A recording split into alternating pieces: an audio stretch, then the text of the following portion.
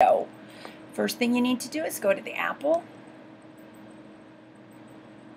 scroll down to Hide System Preferences, double click it, go over to Print and Scan.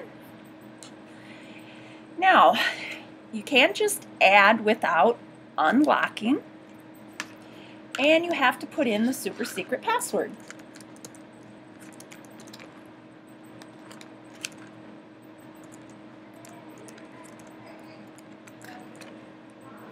Click unlocked.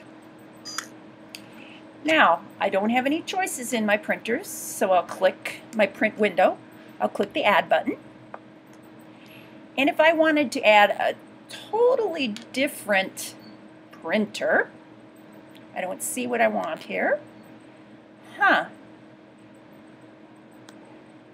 Nothing there that I'd like today, so I am going to choose to take the name out of the window.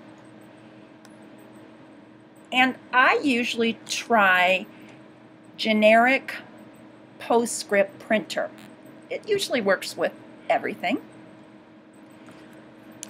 I'll call this Apple Printer. Click Add. There'll be some setup time on your computer. You should only have to do this once.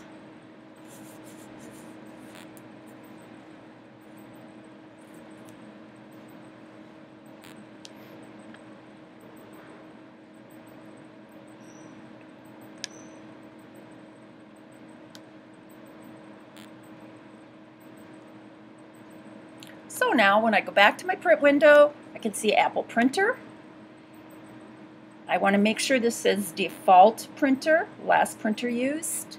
Click the lock, make sure it's locked to make so the changes stay.